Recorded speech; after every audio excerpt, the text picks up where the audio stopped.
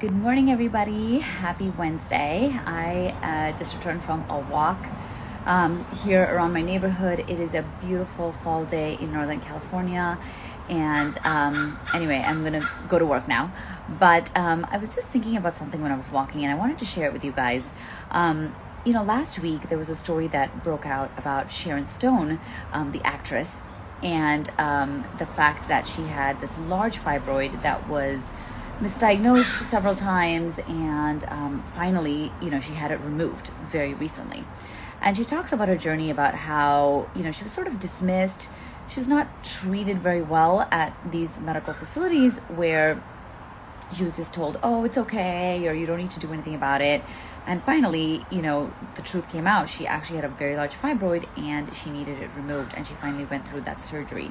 So it was very interesting to me to kind of read that because you know Sharon Stone is an actress, um, you know, presumably she has all the connections, she has a lot of money, um, she'd be able to get in to see the best doctors quickly, and yet her story was very similar to that of many patients that I see on a regular basis.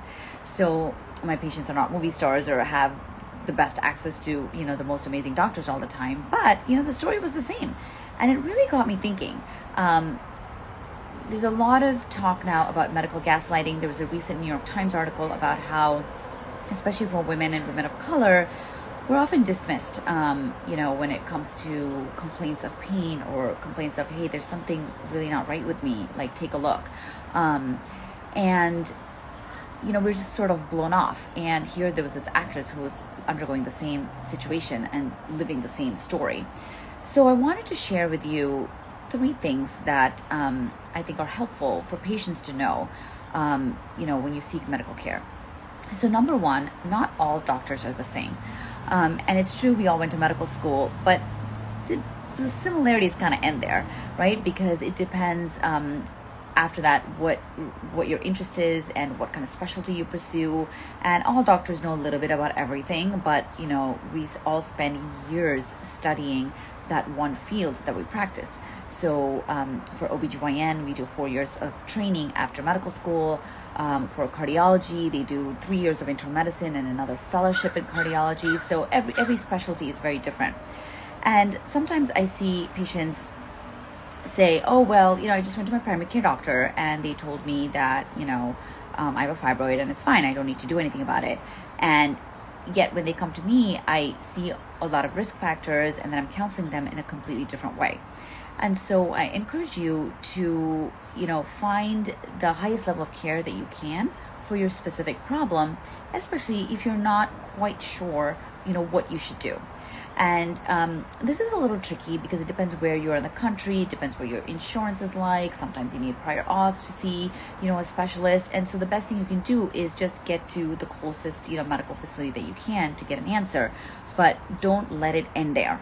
Um, really try to seek out a specialist. Just like if a patient came to me with chest pain, I could tell her a lot of things about chest pain and kind of triage her basically, you know, do you need to go to the ER? Do you, you know, uh, is this actually not chest pain? Is this some other type of pain? I could probably do a basic workup, but then guess what? I would really want you to see a cardiologist because they are the experts in this. So remember that if you are diagnosed with fibroids, really any medical condition that you're a little bit confused about um, or that you really want more information on, seek the highest level of care that is available to you. Number two, don't be afraid to seek a second opinion. So in my practice, patients, um, you know, sometimes they come for a consult, they hear everything I have to say about the treatment of fibroids or whatever it is that they're coming to, uh, coming for, and then they say, you know, I hope you're not. Um, offended, but um, is it okay if I, you know, go see Dr. So and so and just get their opinion? And I actually love that when patients say that because that means that they are proactive about their health, that they want to make the best decision that they can. And so if you have that opportunity to see, you know, somebody else as well, just to make sure that you're doing the right thing, be it nothing or be it surgery for something, that you are making the right decision. So don't be afraid to seek a second opinion. And number three, um, do your research at the highest level possible. And you know, looking up Dr. Google is so tempting for all of us. You know, at 2 a.m. in the morning, you're like, oh my gosh, I have this lower abdominal pain. You know, what could it be? Or I have um, leg swelling. What could it be? And there's like, you know, a hundred different things that it could be, right? Um, and even doctors do this, I hate to say. Um, but we also use Dr. Google, but there is a lot of fake news out there.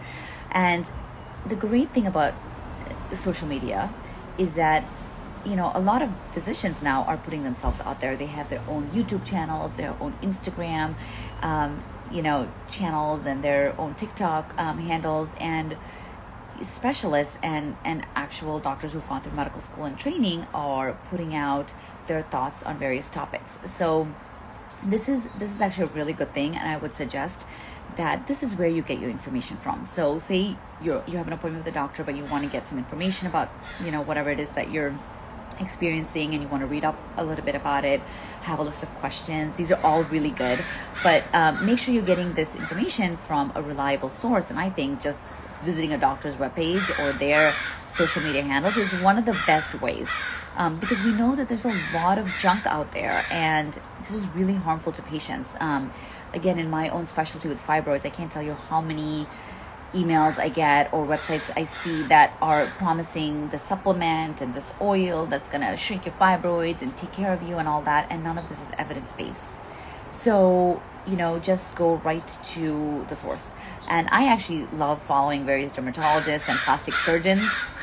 Myself, as a doctor, I learned so much um, from these other physicians, so I would encourage you to do that. So, just to review, um, I think this is important information to think about when you are seeking um, healthcare, when you are seeking an appointment for a specific issue that you're facing.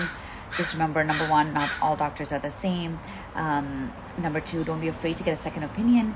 And number three, do your research at the highest level possible. So I hope this was helpful for you. Um, please post a comment if it was. And if you have any other questions, let me know as well. Um, I hope you guys have a beautiful Wednesday and um, please tag a friend uh, or family member who needs to hear this. Okay, see you later. I'm off to work now. Bye.